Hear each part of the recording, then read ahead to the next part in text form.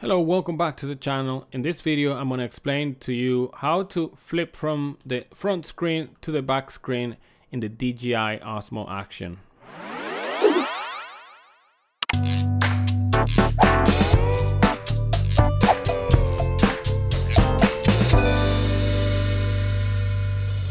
First thing we're going to do is we're going to turn on the camera here in the top. Once the camera is on, it's very easy to swap from the front view and the back view. All you need to do is hard press this button in the side, which is the quick switch button. And now the camera has the front screen on. Very handy. The front screen will give you certain information.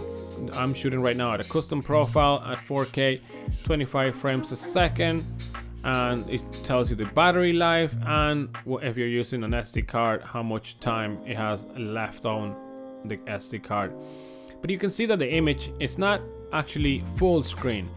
There's actually a setting that you can change in the backside and I'll show you how to change that and get your image full screen if you want to have a full screen image here all it does is it zooms into the center of the image and that would allow you to see your subject better. I personally like to keep that the image doesn't crop because then I can see the actual frame and I want to make sure that everything in my frame is there because it should be. The way you change the image being zoomed in the front screen or not, you're gonna swipe from the top in the middle all the way down to the bottom and you will enter the menu in the DJI Osmo Action you will click this icon and now the front screen is zoomed in. So now we go again, quick switch, long press, you will hear the swapping and uh, animation comes in the screen.